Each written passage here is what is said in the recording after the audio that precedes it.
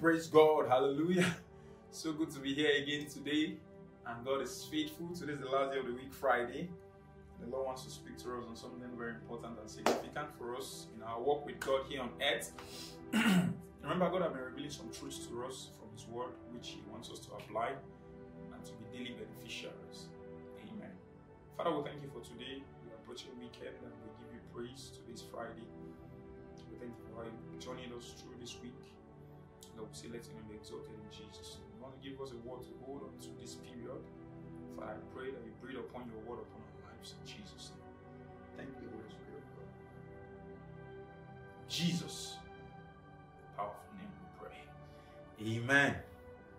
So today God wants to speak to us on being contented. Being contented, being okay at a time. Being contented is being okay at the time. Not really being satisfied or really being filled per se, but just being okay at a time or following the pace of movement with your satisfaction. Now, this has to do with a very popular scripture where the Lord has cautioned us through his servants. and I'll read that place now. In the book of 1 Timothy chapter 6 verse 6. He said, But godliness with contentment is great gain. Godliness with contentment is great gain. When you are godly and then you are contented with what you have around you for that season or for that time, you are convenient with it, is great gain. Is great gain. This has to do with things like material things, resources, finances, and the rest of them.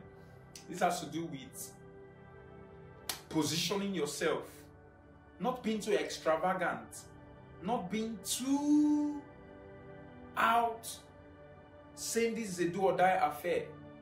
Like lots of people have made mistakes and made errors in their pursuit for money. They allow the love of money to capture their hearts. And many have sold out their soul to the devil because of money, because of resources. And many are into evil ritual practices and lots of wickedness because they were not content with the level they were before.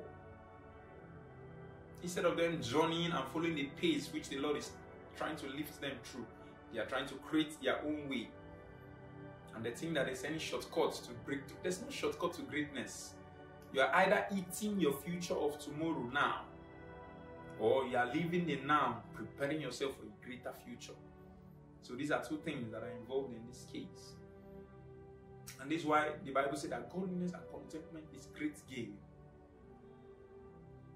Don't begin to say or look at your neighbor and oh my dad used to tell us something very interesting. He said, if you look at your neighbor, you will not thank God for what God is doing for you. If you begin to look at that your neighbor that is higher than you, living above you, you will not thank God for what God is doing in your life. But if you look at those that are below you, you will see every reason to thank God. So instead of looking at that your neighbor that is living a high life or a very large life or is living a life that is higher than your standard, please look at that your neighbor that is living below the standard. You have a roof over your head, you have not thanked God. We talked about gratitude some days back while we're entering into this new month of September. So people are not rendering gratitude to God. That is why they are going out with all their heart, selling their souls to the devil for evil. Please let's remember to give God praise for all the wonderful things He has done for us. You may say life is not been easy, life is not fair, or you begin to make statement like life is not balanced. That is not even scriptural. If you have God in you, look at what the Bible says: godliness and contentment is great gain. I also want to read another scripture in the Bible in the book of Hebrews, chapter 13, verse 11. Hebrews chapter 13. Okay, let me read Hebrews 13, verse 5. He said, Let your conversation be without covetousness and be content with such things as ye have.